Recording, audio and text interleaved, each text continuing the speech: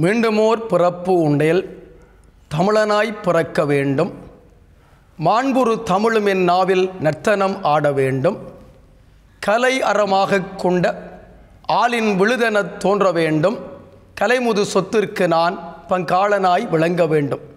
உண்மையே உயர்வாம் என்று உயர்நறை காட்டி நிற்கும் கிராமத்து ஏழை கவிஞனாய் பிறக்க வேண்டும் என்று எல்லாம் வல்ல சிவப்பரம் பொருளை வேண்டிக் கொண்டு அன்னையினுடைய திருவடிகளைப் பற்றி கேபிட்டல் தரிசனம் தொலைக்காட்சியினூடாக சிலப்பதிகார சிந்தனை வாயிலாக உங்களை சந்திப்பதையிட்டு மற்றற்ற மகிழ்ச்சி அடைகிறேன்.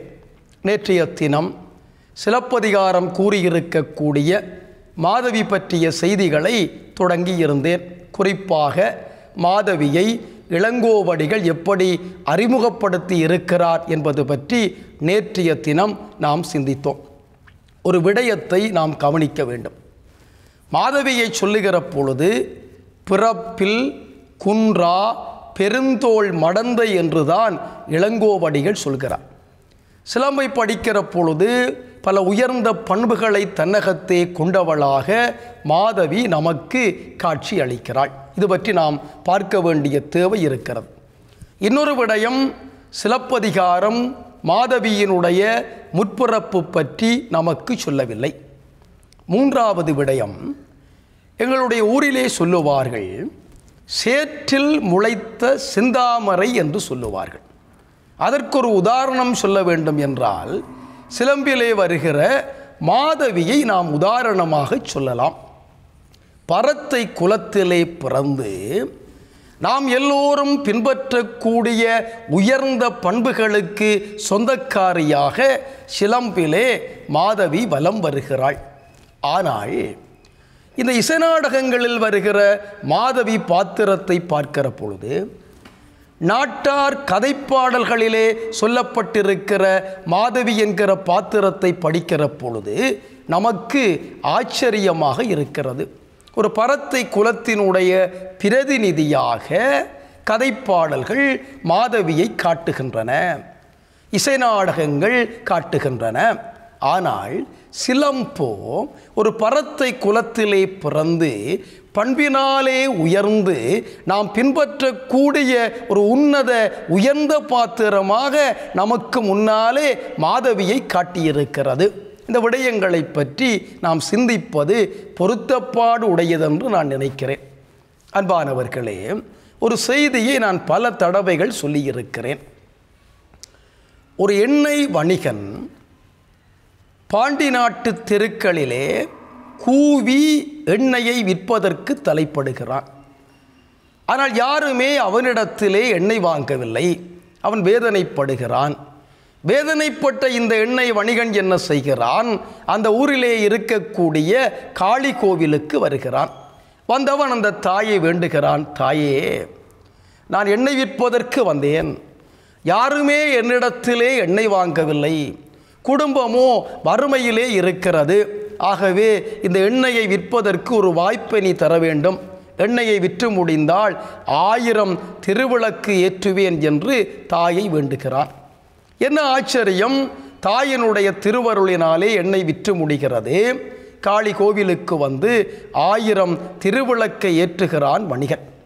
இந்த நிலையிலே ஊர்காவலர்கள் அவனை பிடித்து கொண்டு போகிறார்கள். எங்களுடைய மன்னனுக்கு குழந்தைகள் இல்லை. ஆதலாலே தன்னுடைய குல தெய்வமாகிய காளி மீது அவனுக்கு கோபம் வந்துவிட்டது.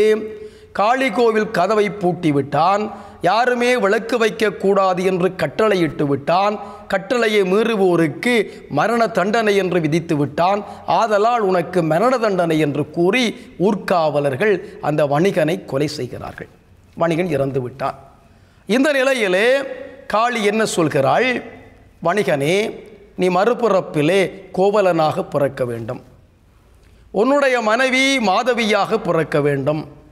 நான் கண்ணகியாக பாண்டியனுடைய மகளாக பிறந்து அவனுக்கு தக்க பாடம் படிப்பிப்பேன் என்று நாட்டார் கதைப்பாடல்களிலே ஒரு செய்தி வருகிறது. இந்த செய்தியை ஈழத்து இசை நாடகங்களிலே தமிழகங்களிலே மேடையேற்றி இருக்கக்கூடிய இசை நாடகங்களிலெல்லாம் நாம் இதை காணக்கூடியதாக இருக்கிறது. ஆகவே ஒரு பாரம்பரியமான கதை ஒரு செய்தியை சொல்கிறது. என்ன செய்தி என்றால் அன்னைக்கு திருவிளக்கு ஏற்றி மடிந்து போன அந்த வணிகனுடைய மனைவிதான் மறுபிறப்பிலே பரத்தை குலத்திலே மாதவியாக பிறந்தாள் என்றொரு செய்தி இருக்கிறது. இந்த செய்தியை நாம் சிலப்பதிகாரத்திலே காண முடியாது. இது ஒரு விடயம். ஆகவே சிலம்பிலே இல்லாத சிலம்பு கூறாத ஒரு செய்தியை எங்களுடைய பாரம்பரிய கதை சொல்கிறது. எப்படி என்றால் அன்னைக்கு ஆயிரம் திருவிளக்கு ஏற்றி பாண்டியனுடைய காவலர்களாலே கொல்லப்பட்ட அந்த வணிகனுடைய மனைவிதான் மறுபிறப்பிலே பரத்தை குலத்திலே மாதவியாக பிறந்தாள் என்று சொல்லுகிறது. இப்படி செய்தி சிலம்பிலே கிடையாது. இதை நாம் ஞாபகத்திலே வைத்துக்கொள்ள வேண்டும். அது மட்டுமல்ல இன்னொரு விடயத்தையும் நான் சொல்லிக்கொள்ள விரும்புகிறேன். அன்பானவர்களே சோழனுடைய சபையிலே மாதவி நடனம் ஆடுகிறாள். நான் நேற்றைக்கு முந்தைய தினம் கூறியிருந்தேன். ஏழு ஆண்டுகள் முறைப்படி நடனத்தை பயின்றவள். இப்பொழுது வயசு பன்னிரண்டு. சோழனுடைய அவையிலே வந்து நடனம் ஆடுகிறாள். சோழன் வியந்து போகிறான். தலைக்கோல் என்ற விருதை கொடுக்கிறான். ஒரு மாலை வழங்குகிறான். ஆயிரத்தி எட்டு களஞ்சு பொன் பெருமதியான ஒரு மாலையை வழங்குகின்றான். அன்பானவர்களே இந்த இடத்தில் ஒரு செய்தியை நாம் ஞாபகப்படுத்திக் கொள்ள வேண்டும். இது பற்றி நான் கடந்த காலங்களிலே கூறியிருக்கிறேன். ஒரு மன்னனுக்கு முன்னால் ஒரு பெண் நடனமாடி தன்னுடைய திறமையை வெளிப்படுத்தினால் ஆயிரம் களஞ்சு பொன். அந்த பெண் அன்றைய தினம் மன்னனோடு தங்கினால் அதற்கு கூலியாக எட்டு களஞ்சு பொன் ஆயிரத்து எட்டு களஞ்சு பொன். ஆனால் சோழன் என்ன செய்தான்? மாதவியினுடைய நடன திறத்தை வியந்தான். தலைக்கோல் விருது கொடுத்தான். அது மட்டுமல்ல ஆயிரத்து எட்டு பொன் களஞ்சு பொன்னை கொடுத்தான்.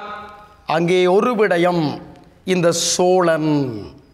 தன்னோடு தங்கி இருக்கும்படி மாதவியை கேட்கவில்லை. ஆனால் கொடுக்க வேண்டிய அந்த எட்டு களஞ்சு பொன்னையும் கொடுத்தான். ஆயிரத்து எட்டு களஞ்சு பொன்னை சோழன் மாதவிக்கு கொடுத்தான். இந்த சோழ மன்னனினாலே கிடைக்க பெற்ற இந்த மாலை இருக்கிறதே இந்த மாலை விலை பேசப்படுகிறது. அந்த மாலையை கோவலன் வாங்குகிறான் வாங்கிய கோவலன் மாதவியை அடைகிறான். இது சிலப்பதிகாரம் சொல்லுகிற செய்தி. இப்படித்தான் கோவலன் மாதவி சந்திப்பு சிலப்பதிகாரத்திலே நிகழ்கிறது. இது பற்றி நான் பல தடவைகள் சொல்லியிருக்கிறேன்.